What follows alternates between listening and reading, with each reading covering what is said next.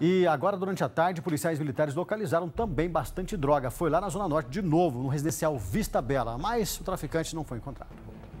Droga foi encontrada por policiais da 4 Companhia, escondida em um terreno no final da rua Gregório de Souza Vacário, no Vista Bela. No total, são 50 pinos de cocaína e 51 buchas de maconha, além de mais duas porções maiores da mesma droga. Os entorpecentes foram entregues no 5 Distrito Policial ninguém foi preso.